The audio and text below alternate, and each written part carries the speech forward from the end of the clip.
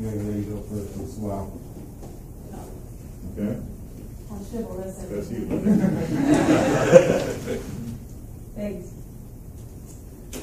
So, uh, I know that this won't be taken, there won't be action on this tonight, but this is just for general comment for future consideration. Uh, I'm here to ask the neighborhood council for a letter of support for the plaza proposal. And I'm not asking for money, I'm not asking you to become a community partner, because that's not an option anyway. I'm just asking for a letter of support. Because the neighborhood council is the only organization that exists, that exists to act as a voice for the community.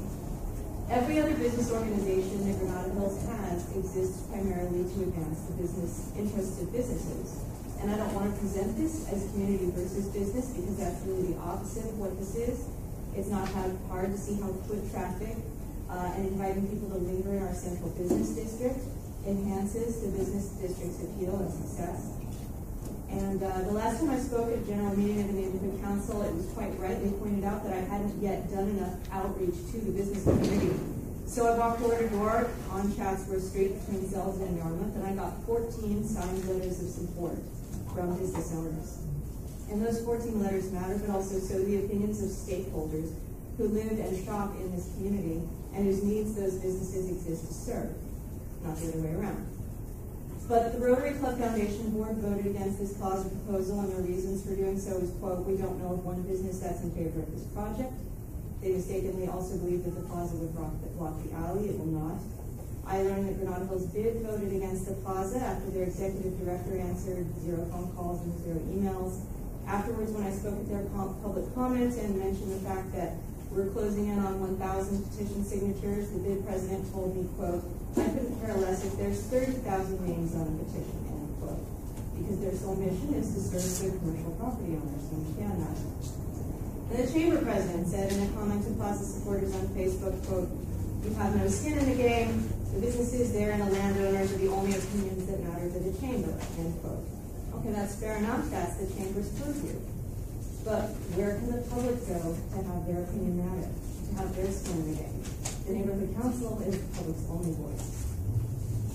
Going out on food trucks, we've got all these petition signatures in favor of the plaza, but the opponents say that doesn't matter. People come from all over the place to the food truck night. So I say, okay, would you like me to show you how many of the signatures are from people with a 91344 zip code? And then they say, well, that doesn't matter. Those people are business owners. So I say, well, we've got 14 signed letters from business owners. And then they say, well, that doesn't matter. They're not property owners. My question for you is this. When do we start to matter? There's this constant shifting of the bar, and we're constantly hearing this message, we don't matter. We've raised money on Kickstarter, and, excuse me, I'm. And while it's not a staggering sum, if you believe that every dollar is a vote, that matters. We've got high school kids walking through there every day, and they could use a safe place to be in after school, they matter. We've got tons of pedestrians walking through there every Friday night, they matter. BID's sole mission is to represent business interests. Rotary represents business interests. The Chamber represents business interests. So this council is really the only option the public has for a voice, where the public gets to matter. It would be really great if there could be at least one organization in this town that says to the Kickstarter donors, the petition signers, the 14 business owners, the public, and the community, you matter. Thank you.